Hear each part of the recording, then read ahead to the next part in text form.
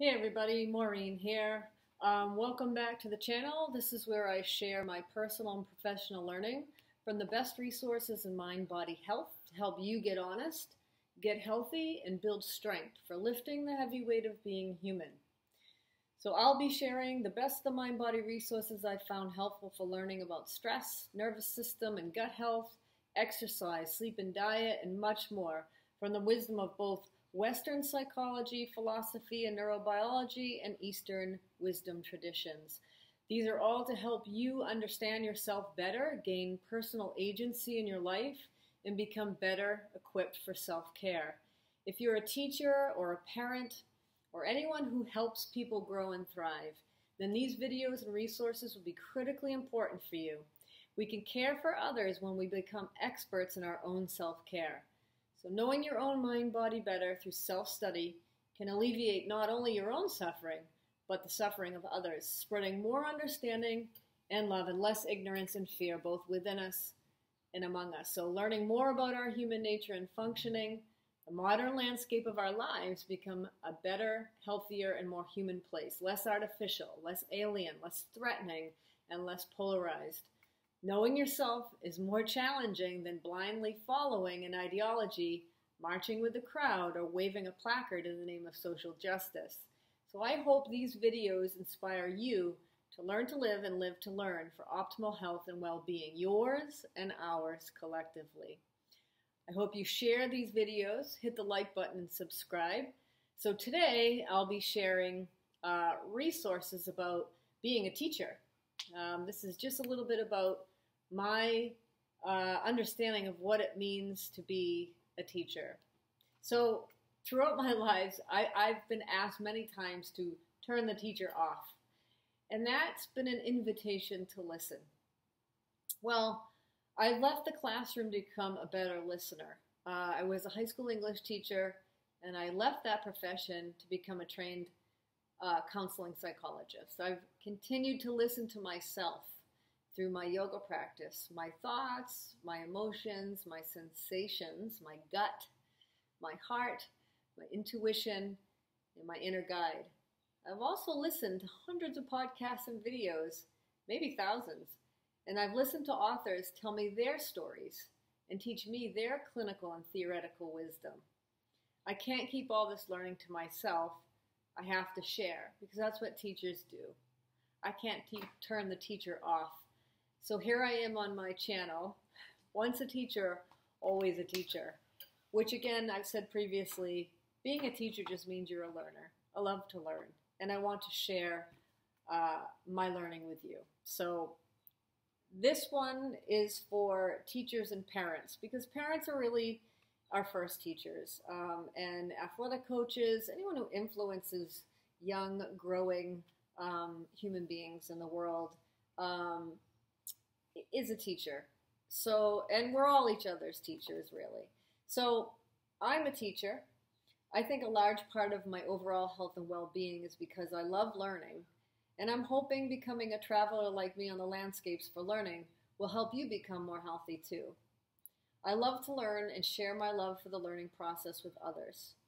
I love learning from and with others and sharing all the resources other people create and share with me. This seems to me to be an important dialogue we collectively share. This exchange of learning from our experiences and from the wisdom of our ancestors and our history. We teachers are perennial learners and we share our learning with others because we just have to. We can't keep it to ourselves. We share it for our own health and well being for others. Teachers give as a way to receive. And my life's never been fuller, really, since I since I ended parenting and left education. Um, it's been pretty bountiful, even if not financially so. We meet students where they're at. We listen, we observe with curiosity and unconditional positive regard, and assess students' needs, desires, strengths, and make resources, tools, concepts, and practices and protocols available, accessible, salient, and appropriate for students' unique learning, fullest expression, and actualization. We help people live their dreams and ideals and values, help them set and achieve goals, and reach and achieve their destiny through actualizing their potential. And every student is unique and different, and every interpersonal connection you make with a student is a unique and interpersonal relationship. They're all different. So you can imagine the amount of biological, neurobiological, mind body stress of interacting with hundreds of students all day long, and then my own kids at home, and then teaching people's bodies in yoga, mind bodies in yoga.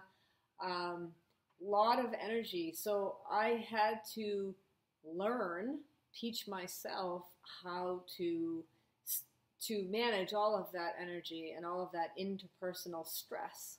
And that's not negative stress always, but stress nonetheless. So later videos we'll talk about that. There's nothing more gratifying or fulfilling than to be a witness to another person's development and play a supportive part in the trajectory of finding and living their truth. Nothing better than that. Teachers motivate, inspire, provide resources, and support people on their personal journey through life, through trial and error, tribulations, obstacles, and achievements. We get great joy from participating in, supporting, giving resources, and celebrating every person's actualization of potential, as well as by showing up and being present as regulated and strong as possible ourselves to remain steady anchors for their trials and troubles and errors and failures. We have to be able to be regulated enough as teachers to be present for people to learn. Whether you're a psychotherapist, a body worker, a mom, a dad, a coach, whatever, a school teacher, any age, a yoga teacher, right? We have to be regulated and mindful enough to hold for other people to be able to learn. It's a messy, messy process. Teachers also take the blowback of frustration and truth learning that causes a lot of discomfort and pain in people who are learning. We can handle the tantrums and the name calling and the reluctance and the resistance and outright refusal to accept and live their truth because we know it's scary and hard and they feel afraid and vulnerable. And we only know this because we've done it ourselves.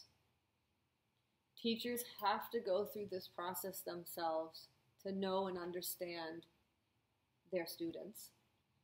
There's nothing better for my own health and growth than to know myself and love myself and my humanity in order to show up for others as they try to do the same. We have to be honest in our learning endeavor with ourselves and others for their fullest integration to live lives of integrity and truth. We cannot live half lives, focusing only on our preferences and desires while ignoring realities that might not be what we want. This acceptance of a whole, honest human life experience is not always easy because honesty can be painful and the truth hurts. Yet it can also set you free. Growth entails loss, sacrifice, thus grief, difficulty and resistance to letting go so that something new can blossom. People are challenged to let go. They want to feel like they're doing something and they clutch onto even uh, coping and adapting skills that are detrimental to them and hurt other people. It's familiar, it's what is known, it's fear motivated, it's habitual, and that's all okay. That's how we humans adapt and cope to the environment. There's no shame in that, but to help people see that's how they are, what they do, how they function, what their habits are, and repetitions and whatever, by knowing themselves, they can they can choose to let some of those things go. They can become more regulated to be able to do it, and they can suffer better and suffer less unnecessarily. So, suffering comes from the world around us and from within us and the ways we respond and cope and adapt to what happens. Good teachers know this, and they accompany, guide, and model how to live as a learner and to learn honestly for fullest actualization and optimal vitality. Teachers make mistakes too. Yet they know how to acknowledge weakness and their limits and their faults and their flaws and their fear and their own nervous system fluctuations to then come back into balance to repair and reconnect, to live their own truth and to repair and reconnect with others. This is the ongoing movement of being a human learner.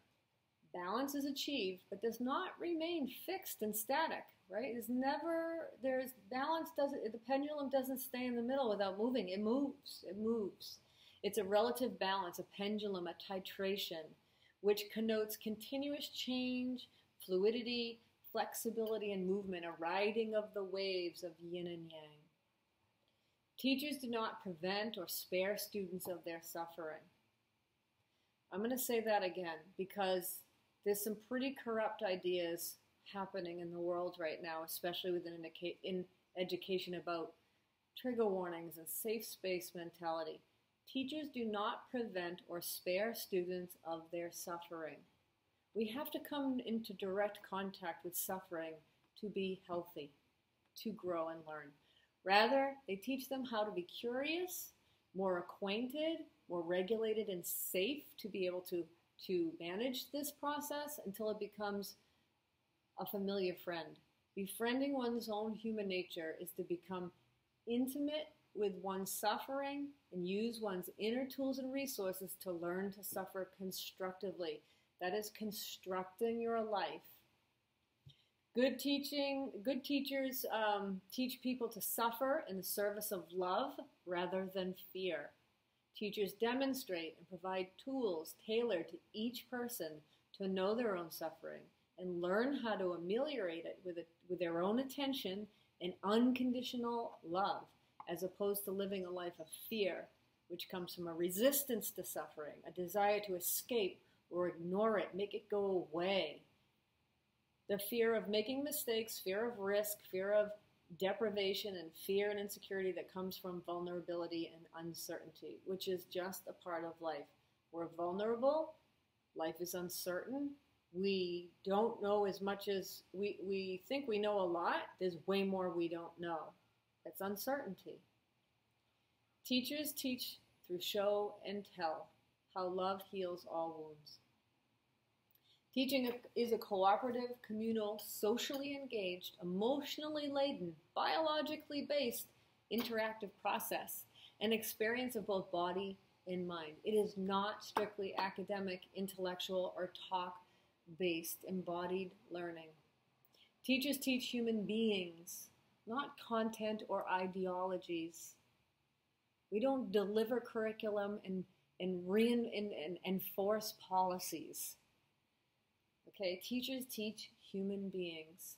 There's no such thing as a one size fits curriculum or pedagogy, though there are more and less effective ways to teach and learn.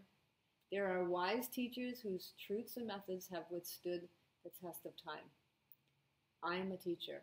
I was a high school humanities teacher, meaning I used the tools of stories and storytelling, of listening and dialogue to help students become fully expressed humans. I am a teacher, a Bikram yoga teacher, meaning I use the tools of yoga, breath work, nervous system regulation, focus and concentration of attention, mind body balance, and integration practices to help students become more fully realized and actualized, fully expressed humans. I am a teacher, a parent of four, meaning I was my children's first and most important teacher of the way to be human, human literacy, how to survive and thrive as a mind body being in the world. I am a teacher, a behavioral health counselor, and coach, meaning I use the tools of psychotherapy to help people know themselves as mind body beings and how to manage human experience, like change and suffering and growth for their fullest actualization and expression. I share concepts and tools for understanding human nature, an individual's own unique nature, and social conditioning how each client has been culturally conditioned, parented, educated to be who they are in this moment, and provide hope of plasticity, transformation, and transcendence for who they might become, to actualize their potential, encourage them with love to become courageous, to be fully expressed. I'm a lifestyle coach, meaning a teacher who shares her learning tools, therapeutic presence, and practices with others for optimal health and functioning of the body, mind, and spirit. I'm a teacher. I preach only what I practice through sharing what I learn and sharing my love of learning without conditions, without expectations. It's not about the grades. I do this for my own health and others' healthy development, not for money. A life of and for learning is a journey. It has highs and lows, peaks and valleys, steps backwards and forward. It's imperfect, messy, full of nuance and gray areas. It's amazing. It's vertical, deep within each of us, and it's horizontal across space and time, past, present, and future. It's deep and dark and light and infinite and expansive. As your teacher at Landscapes for Learning, I will encourage you to know yourself for wisdom and wellness, and I will share how I got to know myself and the tools and resources out there that are high quality, cutting edge, new and exciting to help you on this journey of self study for self realization and self actualization for meaning, life of meaning and purpose and optimal vitality. When you learn more about yourself and how you function as a human being, a body and a mind, you will grow in more certainty, more safety, more personal agency and power. You'll grow less shameful and guilty, less sick and weak, more strong and resilient. This is all good for you and everybody else. Knowing yourself is simple advice. It's simple but not easy. So please spend your time, money, attention, and energy on becoming a willing, curious, persistent learner for a great life. There are loads of us travelers on the landscapes for learning, in here and out there. Many people engaged in working out within to lift the heavy weight of being human. Many of us getting honest and getting healthy. So join join us and let learning be your lamp the lamp that lights the way toward a wonderfully meaning filled, embodied life of love and truth. And I will be your teacher. It's something I take very seriously. And I'm, I'm so full of gratitude that I'm able to do this online with people from around the world, far beyond my classroom and uh, in the northern suburbs outside of Boston. Um, so expanding learning, it's just um, it's so life giving to be more open and expansive and to share resources. I mean, if you think about it, you know, how, how have we humans survived? We've gathered together and we've shared our resources to grow and thrive. So, continuing to do that, pay it forward. I hope to encourage everybody else to do the same, and I'll see you back here next week, next video. Take care.